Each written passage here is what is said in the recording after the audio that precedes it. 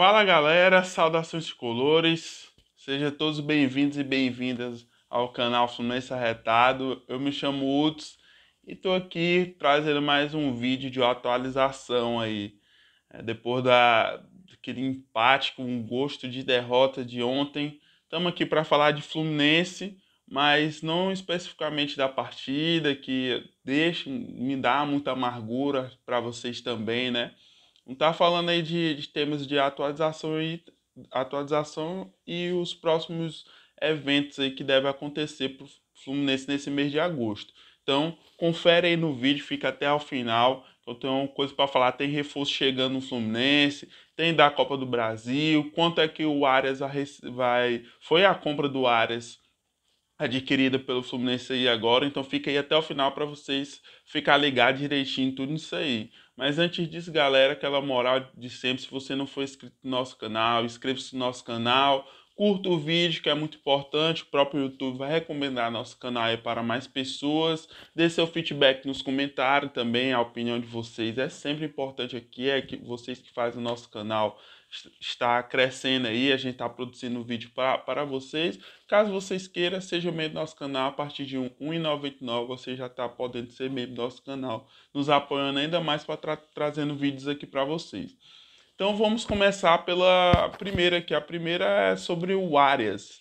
O Fluminense adquiriu o Arias por 600 mil dólares, o valor que é equivalente a 3,1 milhões de reais. Ele, ele é aguardado no Rio de Janeiro no início da próxima semana para assinar com o Fluminense até o fim de 2025. Informação que eu já falei aqui para vocês também no vídeo. E o GE apurou e o Fluminense vai estar tá desembolsando esse valor aí de 3,1 milhões de reais aí para vindo do Arias. Espero que o Fluminense consiga pagar aí esse, esse valor em dia, né? Provavelmente está sendo uma compra parcelada, o Fluminense não pode dar esse valor à vista. Espero que possa estar tá pagando aí para não virar um processo na FIFA aí, como é o caso do Michel Araújo e acho do Fernando Pacheco, não sei se chegou também a estar tá na FIFA também, mas é um caso que o Fluminense tem que estar tá pagando em dias a parcela do Arias. No mais, esse é um reforço bem-vindo aí, já que os nossos pontas aí, com a ausência do Caio Paulista, a gente sente muito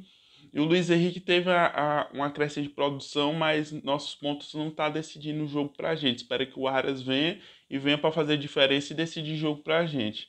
Então vamos aqui falar de um, de, de um acerto. O Fluminense acertou a contratação do atacante para Xerém, que é o atacante Davidson, de 19 anos, que estava na, no União Almerim de Portugal. Ele chega em definitivo até o final de 2023 e vai integrar o sub-20 do Fluminense. Então seja bem-vindo aí o atleta, o atacante Davis. Espero que faça valer aí essa compra que o Fluminense fez do atleta e vingue na base do Fluminense se torne aí um ativo no profissional.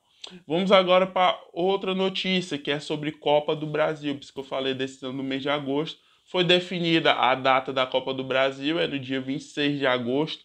Lembrando que vai ser jogos suscetíveis com o Atlético Mineiro, Acho que no dia 23 a gente enfrenta, de agosto, a gente enfrenta eles pelo Campeonato Brasileiro e no dia 26 a gente enfrenta eles pela Copa do Brasil. O jogo da Copa do Brasil está definido e o local vai ser no Engenhão, local que de muito bom grado aí da nossa torcida, né? Então, o primeiro jogo da Copa do Brasil vai ser no Engenhão, sem torcida para os dois jogos, não vai ter torcida, já que no Rio também não vai ter torcida. E o jogo da volta vai demorar um pouco para acontecer, vai demorar umas duas semanas para, para ele ocorrer devido à data FIFA, para os jogadores aí, o time que teve jogadores convocados para a seleção brasileira vai ter seus jogos adiados, que é o caso do Atlético Mineiro que tem um Arana convocado.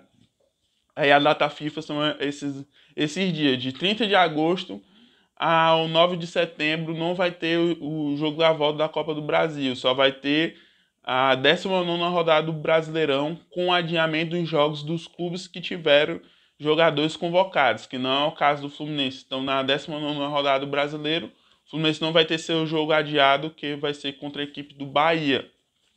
Então é isso.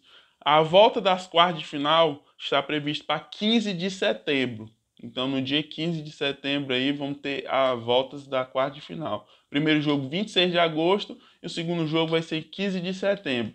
E por fim, para terminar esse vídeo aqui de atualização de notícia aqui para vocês, é o Carro Paulista. O Fluminense corre contra o tempo aí para ter o Carro Paulista para o jogo de volta da Libertadores. Ele está em fase intensiva aí de transição aí em sua recuperação. O Fluminense corre contra o tempo para ter o, o, atleta aí nesse jogo decisivo contra o Barcelona lá no Equador. Espero que o Carro Paulista consiga ter, ter o Carro Paulista tempo, porque ele é muito importante nesse esquema do Roger, vem sendo um dos melhores jogadores do Fluminense na temporada, se não o melhor jogador. Então ele espera que, ele, que a gente tenha essa boa notícia na outra semana, que ele vai para o jogo, que ele está é, 100% pronto para poder atuar nessa decisão que ele vai ser de, de extrema importância para a gente conseguir a classificação lá. Então é isso, galera. Esse foi um vídeo bem curto, somente de atualização para estar atualizando aí vocês. É isso. Saudações colores e até os próximos vídeos.